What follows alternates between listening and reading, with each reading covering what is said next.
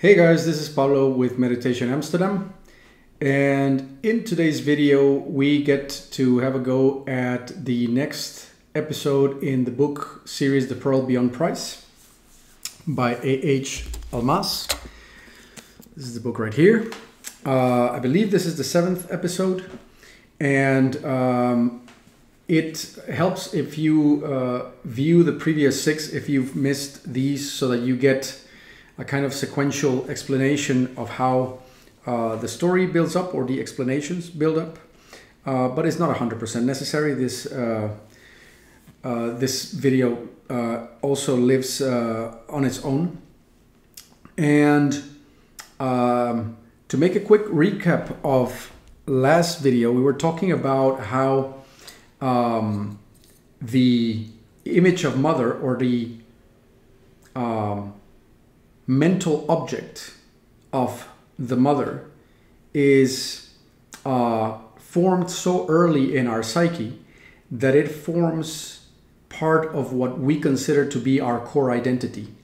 Uh, even though we may have become mentally, emotionally, and physically fully independent from mother, in other words, what psychology calls separation and individuation.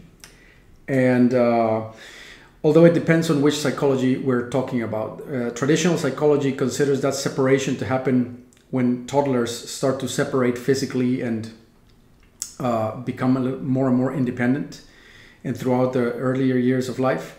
Uh, Jung considers the actual individuation process to be closer to uh, what Almaas considers individuation. So it's a, a full uh, separation, um, uh, full adulthood, as, as you could say uh, from a spiritual perspective, which means um, a, a complete disentanglement of the object of mother from our sense of identity.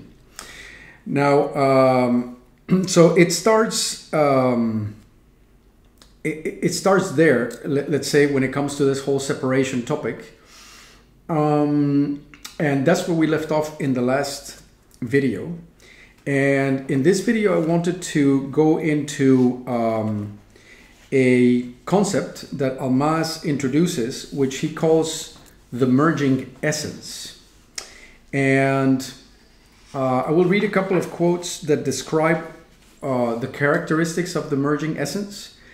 Uh, but before going there, we could essentially describe it as this sense of being completely compenetrated uh, within ourselves. So, totally in touch with. Um, with our core sense of self and merged so intimately um, that there is a there is a complete unification with experience.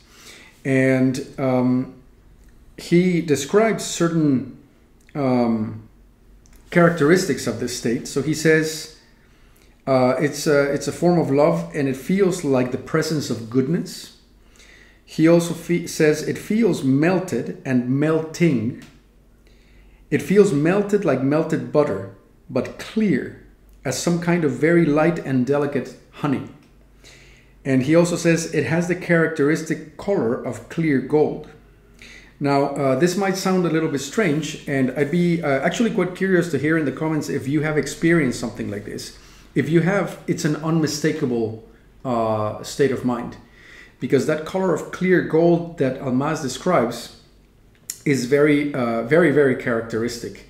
It looks like this golden shimmer uh, on on top, like a like a kind of filter layer, where everything becomes more vibrant, more alive, and and with a kind of golden hue all over the place. And it's a warm gold that is also very, very welcoming. So you it's almost a goal that you feel in the body and see in your uh, in your sense fields. Um, I can see a little bit of it even now as I'm describing it, and um, I'm going through a little bit of uh, detail here to describe it because you may have come across that experience, and uh, if you have, it's really unforgettable. So that's what Almaas calls the merging essence. It's um, experience in merger with mother, which is uh, how we get to neediness uh, at some point along the way, and I will explain uh, how this merging essence uh, takes us there. but first, it was important to describe that the merging essence is something that as uh, infants we experience when we receive care uh, from our mother. We, we feel this total goodness, this warmth, and uh, it's almost like everything is fine in the world. Um, my first experience with such uh, emerging essence, uh, the best way I could describe it, it was as if I was being given a, a great big warm hug by Mother Nature that I had been longing for for a very, very long time. Uh, so that's uh, to Almaas the merging essence. Now, when we experience this, uh, so the infant uh, needs this, right? That, that's the one thing that you need from mother is, uh, of course, via uh, physical and emotional care, uh, because you need that to, to survive, but it elicits the merging essence in you so that you can feel that everything is good in the world. And you would be wondering, well, how is this uh, problematic, right? why would this lead to the topic of the video, which is uh, the root of, of neediness, the, the, the root cause where neediness arises for us. And I will, um, I will uh, describe it now, and it is what in psychology is called merger, right? Now, what Almaas explains is as follows, and I will now quote. He says, Since the merging essence, in other words, this warm, everything is okay in the world glow, is dominant in the symbiotic phase, meaning when infant and mother are symbiotically joined with one another, and is especially present at times of gratification, it becomes associated in the memory of the infant with gratification. So he explains it. He says, after a while, the child cannot distinguish the merging essence from the experience of gratification. So he cannot separate it from the perception of his needs being satisfied. In other words, he does not separate it from the mental representations of the activities or processes leading to gratification. So need for the merging essence becomes associated in the mind with the need for other things, such as food, comfort, protection, safety, pleasure, warmth, contact, discharge of tension, and so on. Now, we're going to spend a little bit of time on this because this is um, really, really a crucial point. What Almaas is essentially saying here, and I, did uh, a few months back uh, a video about this, may even have quoted this passage here, um, is that because we feel this inner goodness and this and experience this warm golden hue and this experience, when mother provides us with the gratification of our needs, the mind commits the ultimate uh, logical fallacy, which is it confuses correlation with causation.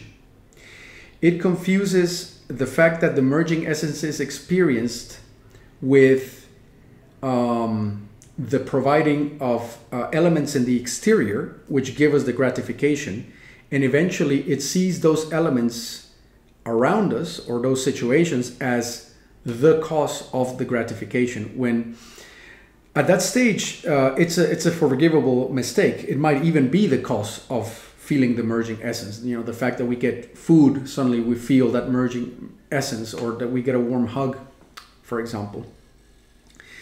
Uh, the problem is that the merging essence is an internal capacity that we have.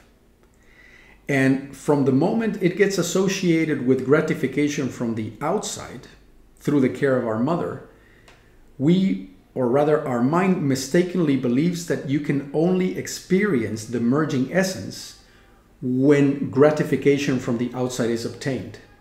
And from this point on, neediness is a given. That's it.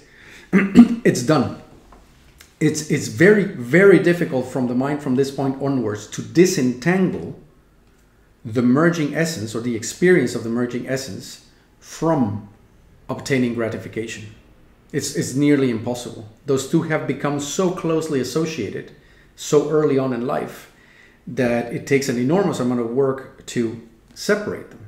Now, um, psychology often doesn't seem to see a problem with this uh, because that merging essence that Almaas is talking about is hardly ever even discussed in psychology. In psychology, we aim to be happy, joyful, assertive, and all those kind of things. But this full golden immersion, this uh, melting and uh, uh, melted and melting experience that Almaas describes is hardly ever even mentioned. And so um, that's where things such as healthy attachment uh, is mentioned. Uh, I had a, an interesting instance this week where I was talking to someone who I believe to be one of the most well put together human beings I know, uh, proactive, assertive, emotionally balanced, has a long term, loving, successful relationship. In other words, healthily attached.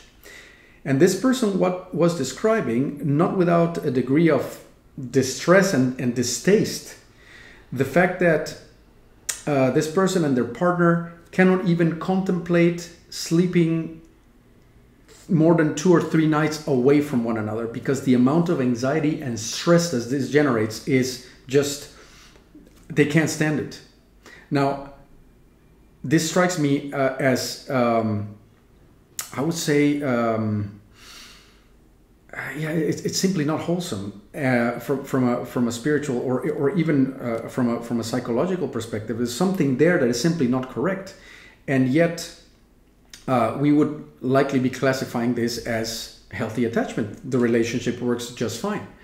Uh, now there may be degrees of this. There may be different personalities, and someone could say, "Well, that's not really healthy attachment," or you name it.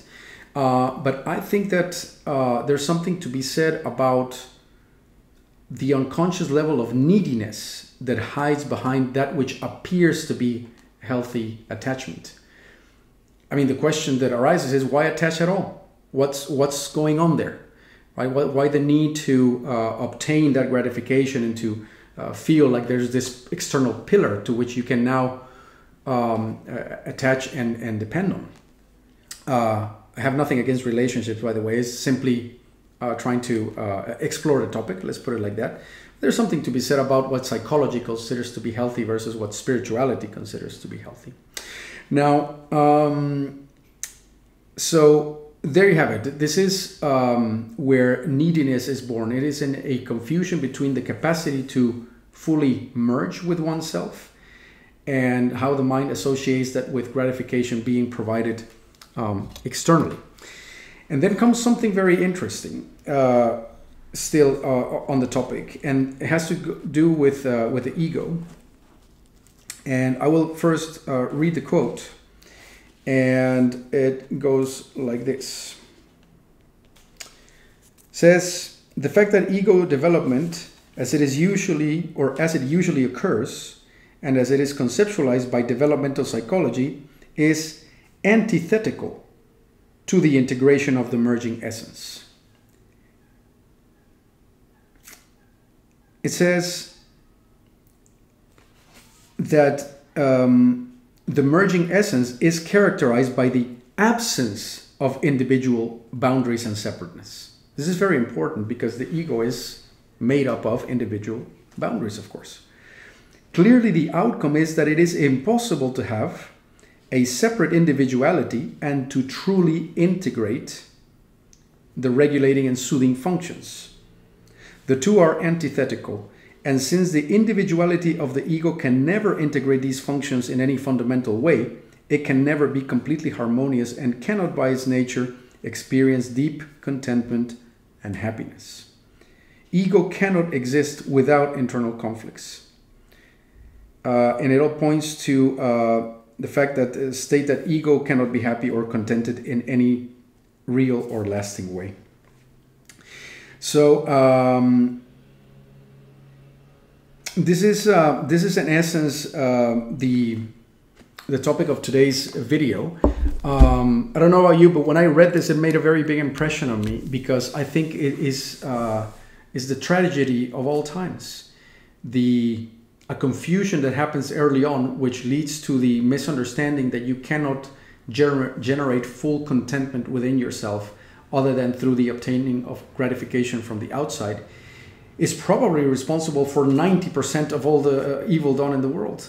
Uh, I'm making up that percentage, but uh, make of it uh, what you will. I think um, a lot of the trouble that we have as a race stems from that apparent incapacity to just feel 100% okay with yourself and to generate that goodness and that melting, honeyish, warm feeling for yourself.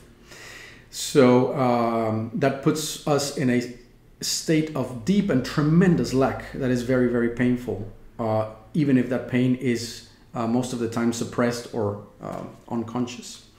So I'm uh, very curious to hear about your take on this one, uh, especially about the experience of the merging essence or the absence of it for that matter.